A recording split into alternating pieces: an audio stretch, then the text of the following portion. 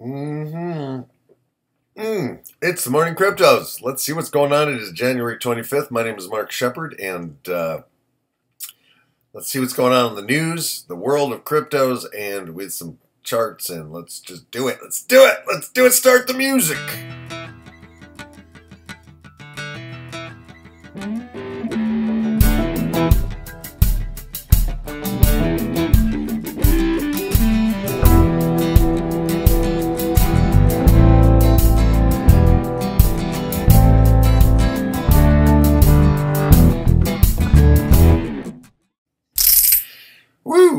Okay, well, it is. What day is it today?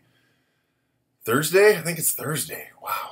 Anyway, it's been kind of a quiet week here in Lake Wobegon. A uh, little bit, uh, little bit of quietness, but uh, things seem to be kind of hanging in, which is good. Uh, I think it's okay. I think we're going to be okay. Um, and here, Bitcoin has settled down on the uh, the 100 day average, and um, that's not a bad thing. I think it's it's probably a good thing. Uh, so uh, let's look at the news uh, quickly and see if there's. Come on, my computer is a little slow today. I'll probably have to reboot it. Uh, let's hit refresh, see if that can happen. Oh yeah, eleven thousand two hundred fifty-one dollars. Uh, Stellar Lumen uh, little news about Stellar Lumens looking like a breakout. Uh, and why are potential forks not accounted in the Bitcoin futures price? Okay. How to beat the Bitcoin bear. Oh, okay. Uh, rapper 50 Cent, 50 Cent is now a Bitcoin millionaire. Uh, wow. He's, he accepts Bitcoin for his 2014 Animal Ambition album. Wow. Interesting. Wow. Yeah, I'm going to start taking Bitcoin too, and Bitcoin Cash, and Dash, and Litecoin, and Ethereum. All right. Okay. So that's that. I don't know. Maybe Bitcoin news. How about news? Bitcoin news. Anything exciting? 50 Cent. 50 Cent accidentally made 8 million. 50 Cent Teenage Bitcoin Millionaire has some crucial advice for young investors. Oh. Okay. What the FUD? Bitcoin market beset by January woes. Okay. It's all good. Right, right. All right, so let's just look at it real quick, people. Um, these moving averages are something that I started learning here in January, and uh, I've just been using them every day. Uh, I had some other tools as well, but I really, I, I just have to simplify. Um, I think they're helpful. Um, but it's interesting because the 25 day average has just dipped below the 50 day average. But uh, I don't know. I think I think we're uh, we're hanging in. The, the energy seems to be gone. there does not seem to be a lot of energy in the market. So let's just take a peek on the one hour chart. See if there's anything we can glean. Interesting where all of the averages crossed right there. And then it lifted. Boom. Interesting. Now, it looks like we have a lot of the averages not necessarily crossing, but coming somewhat together here. I don't know what that means, but man, the colors are pretty. Pretty colors. Uh, uh, yeah. Okay, well, I hope that was educational. Let's. it's early. It's only 6:56 a.m. It's starting to get a little lighter out though. And uh, let's grind through these Bitcoin Cash. What's it doing? It seems to be hanging on. It also is tucked into the 100 day average. And uh, this chart, we don't have a 200 day average because it's not that old. Um, so, yeah, so this is not, you know, they keep talking about crashes and stuff, but this is like normal movement. It did catch me by surprise because I'm a newbie, right? But for the old hands, they're like, oh, yeah, this is normal.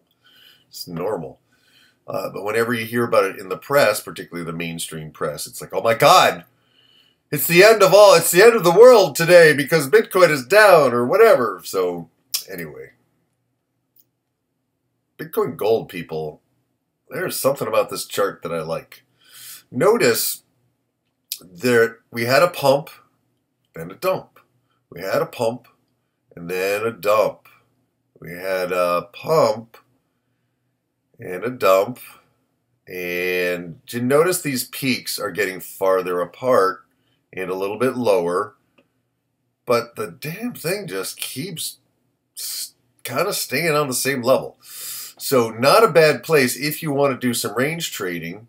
You have one, two, three, four tops here and a pattern that if you bought here today at 181, you could sell at 350 or 330 or 300, you know, because but it's going to take a little while. It seems like there's more space between the peaks. So it looks like you have some time.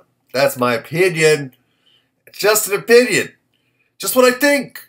It's a free country. It used to be anyway. Free speech, people. You don't have to take my advice because I'm not giving advice. all right. I love all those disclaimers. Got to have disclaimers because nobody wants to be sued for giving sound advice that some idiot doesn't follow. Ha ha ha! Correctly. Right? And we're all idiots. That's the bottom line is we're all fools.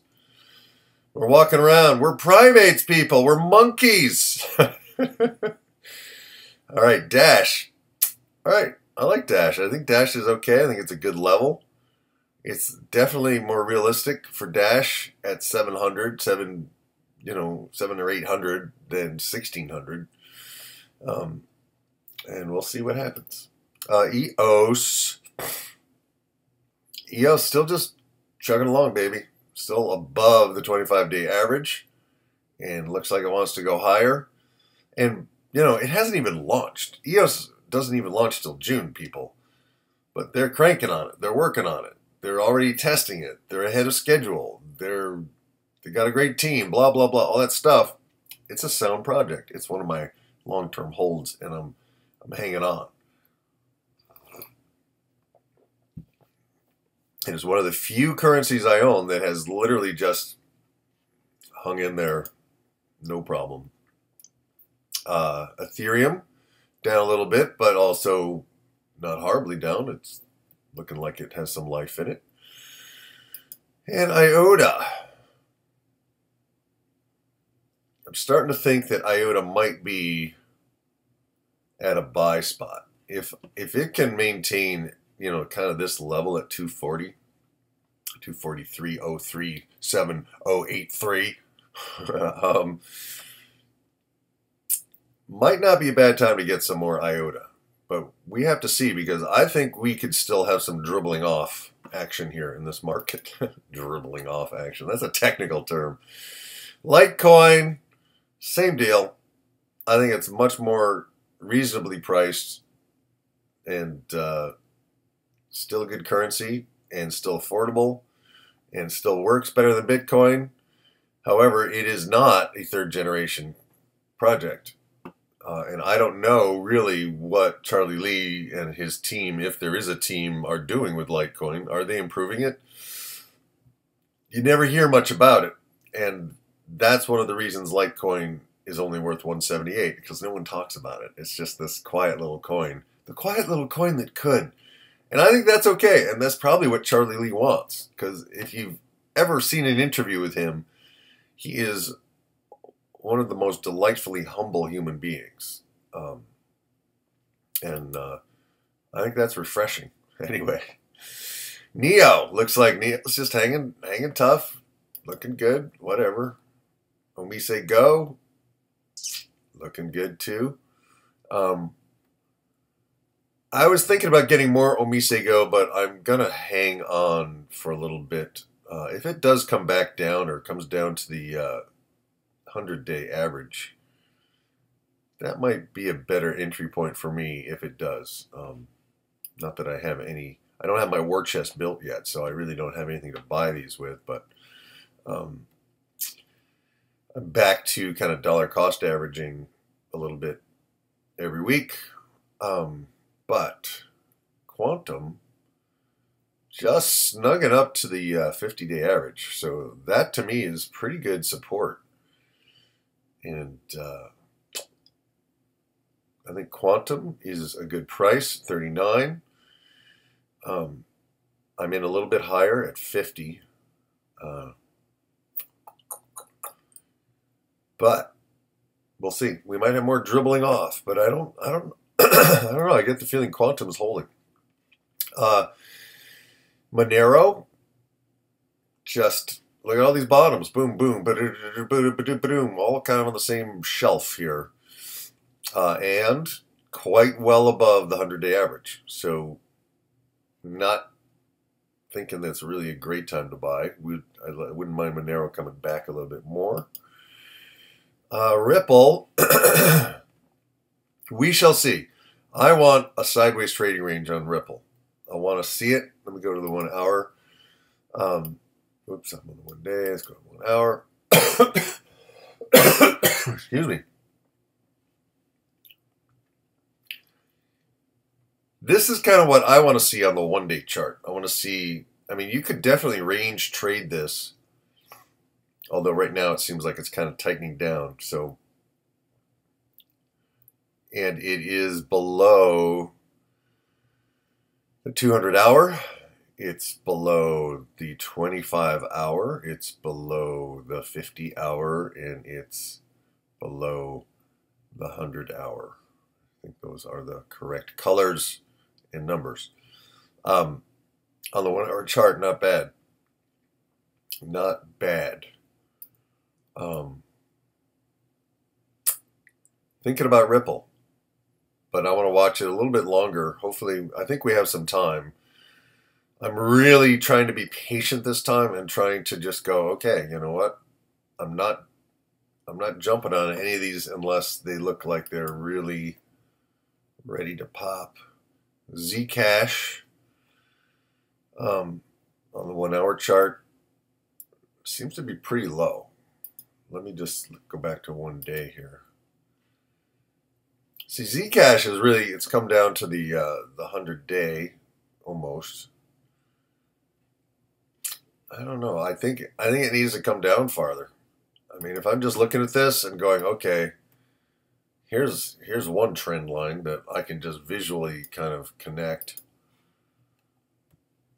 You know, let's maybe go back here.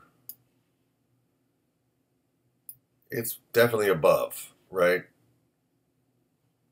know, it just it doesn't it doesn't seem like that's the trend. You know, it's like we just had this crazy freaking bubble. So I just I think Zcash it's going to come down to this line because we did on the on the big drop day before Christmas. I wa- I just sat and watched this chart as it went down, and I was like, wow, this is what they mean by kind of a flash crash. And I was like, I could buy right here but I chose to buy Bitcoin Gold instead, right?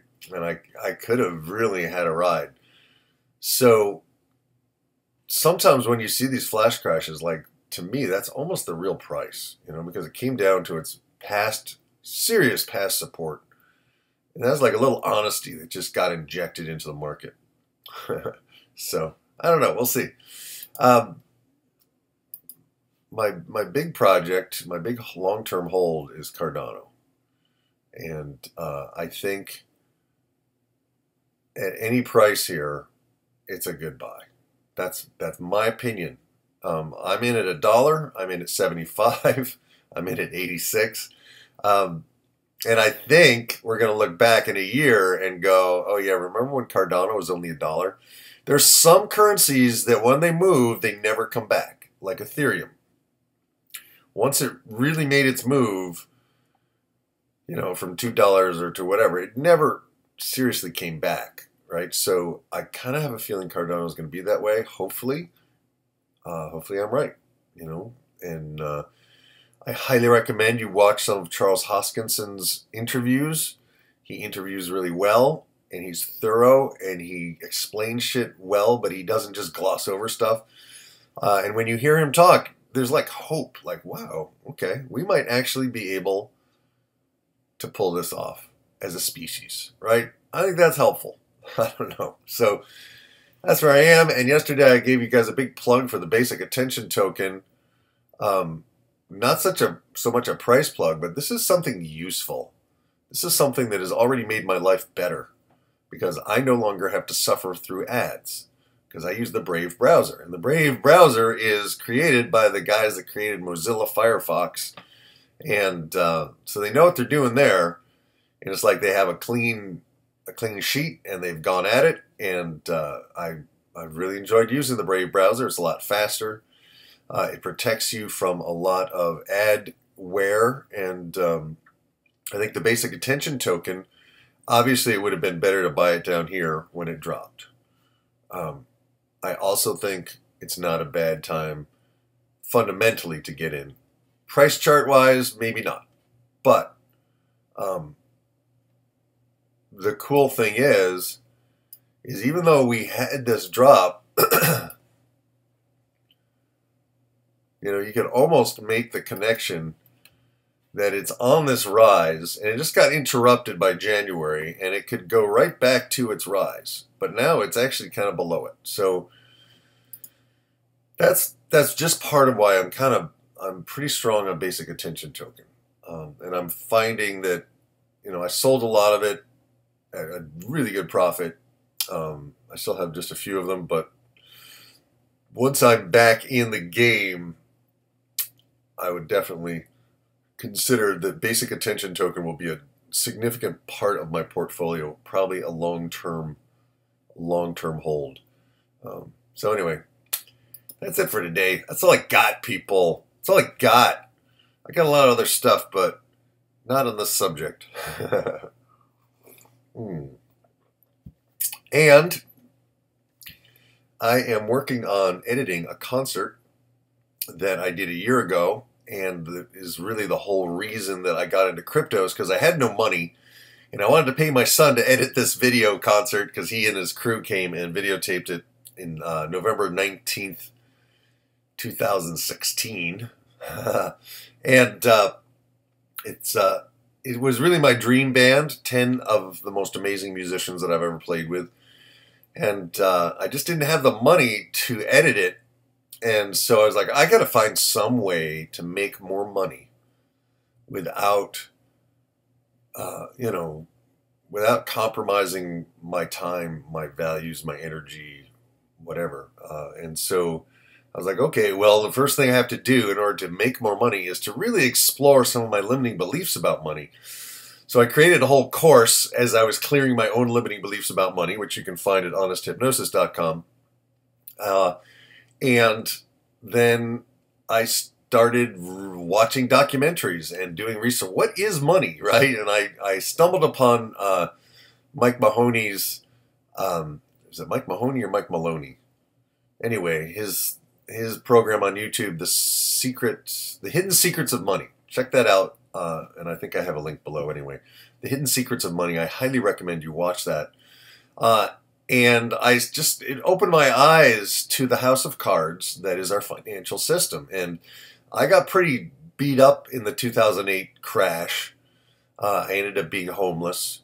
Uh, so I've been down to the bottom financially, and more than once.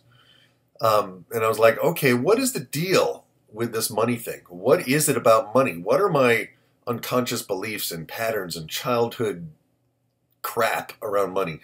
So I started clearing a lot of that stuff, and then in the same process, started hearing about Bitcoin, and I was like, you know what? I've never been able to save, but if I took twenty dollars a day and just automated it at Coinbase, just twenty bucks a day, and bought Bitcoin every day for 20 bucks. When it goes down, I'll buy more. And when it goes up, I'll just buy less. It'll just protect me. And that to me, I think is one of the best trading techniques that you can do to get started. And kind of a year later, I'm like, you know what? We're kind of at a quiet spot right now. Maybe it's a good time to go back to buying $20 a day at Coinbase of Bitcoin, Litecoin, Ethereum, and possibly Bitcoin Cash. So that's kind of where I am at the moment, and I highly suggest that um, you guys might want to check that out because it's the concept. It's an ancient concept that shows up in a lot of self help books. And ultimately, it's called Pay Yourself First. Pay yourself first. Take 10% off the top of whatever you earn, whether it's in fiat or crypto, and find a way to reinvest that in yourself in a way that grows, right? And it could be for me taking 10% and investing it in a new computer, right? So that I can do my editing better, right? Or it may be investing in a course that you take that where you learn something that you just really can't learn anywhere else, right? Or maybe you take that 10% and invest it in, uh, you know, basic attention token or whatever it is. The idea being that you have you have a certain amount of energy at your disposal. We all do, and we all waste a lot of it. What if? What if you could capture just a small percentage of your excess and turn it to your long term benefit? So that's the thought for today, and uh, sticking with it. And if you like this, please give me a thumbs up and subscribe and ring that little bell so you get notifications. And I want to thank you guys for all your comments. And a couple of you have been asking about doing some live uh, live stuff and question and answer kind of things. And uh, I've heard your request and I really appreciate it. I've got to figure out how to do it in a way, and I think maybe I need a new computer to do it because I just I don't either have enough RAM or something's going on with this thing.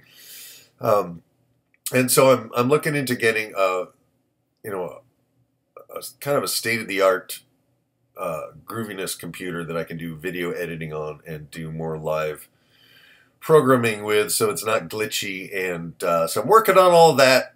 And uh, that's it for today. I love you guys. I appreciate it very much.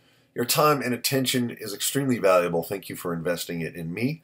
And hopefully, it has supported you in some small way. And I appreciate you very much. Thanks so much. Thank you. Thank you. Thank you. Filled with gratitude right now. By the way, gratitude's a really good thing to get into. We'll talk about that another time. But I'm grateful very, very grateful for your presence here. And let's start the music.